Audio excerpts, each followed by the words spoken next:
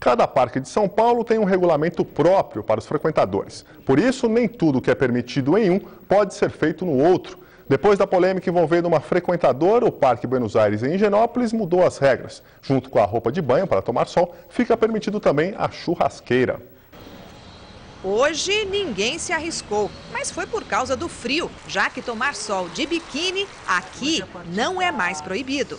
Eu acho que não tem problema nenhum, né? não sei que seja uma coisa escandalosa e que contra a moral das pessoas, mas eu acho que como no Rio de Janeiro, onde as pessoas andam de ônibus, de biquíni, de maiô, quer dizer, aqui não temos praia, mas temos um belo parque que as pessoas podem aproveitar. Não tenho nada contra coisa. Eu acho que é a tal história, sabe?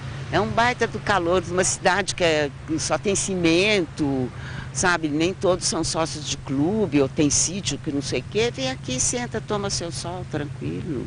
Tem gente que não gostou. Ah, porque eu acho que é um, tipo, pouca vergonha, sabe? Não, não tem cabimento ter uma pessoa aqui de biquíni, sendo que está numa praça. E... Acho que o parque não é bom para isso. O pessoal, os homens passam, ficam olhando, então constrange a pessoa que está passando, né? Com a mudança, andar de patins, de skate, que era proibido, ficou apenas não recomendável. Já o item que proibia o uso de churrasqueira no Parque Buenos Aires sumiu do regulamento. Então pode. Churrasco também eu acho que é uma coisa que não deveria. Não deveria. A praça não é para isso, né? Mais lazer, passeio, é um tomar sol, ler um livro. Assim, agora, quando começa com comida, churrasco, essas coisas, não. Aí já. Eu acho que já vira assim uma bagunça. O cheiro da fumaça, a pessoa quer dar lazer, andar, assim, respirar puro. Já em São Paulo é uma poluição, aí não, eu não concordo. Churrasquinho na praça também pode. Ah, eu acho, sem problema algum. Será que não atrapalha a fumaça? Não, um ar livre desse, ué, é a mesma coisa de você pensar, pô, mas o cigarro também não atrapalha, mas tá ar livre.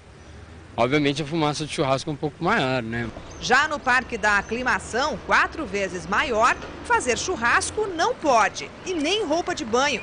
É um dos parques da cidade que impõe mais restrições.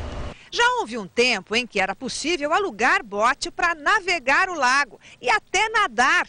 Havia salão de baile, pista de patinação. Hoje tudo isso é proibido.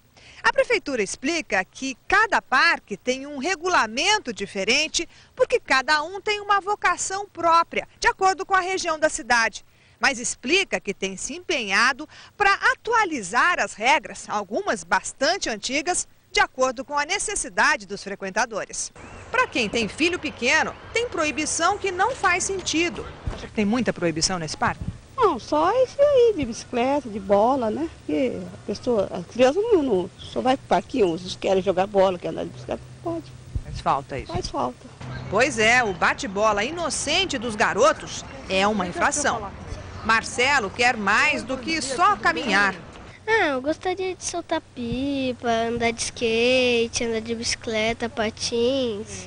E por que não seguir o exemplo do Buenos Aires? A Praia do Paulista é o parque, não é? Em Paris não tem, na beira do Sena, as praias com o pessoal tomando banho de biquíni? Aqui na aclimação, você acha que devia ser liberado?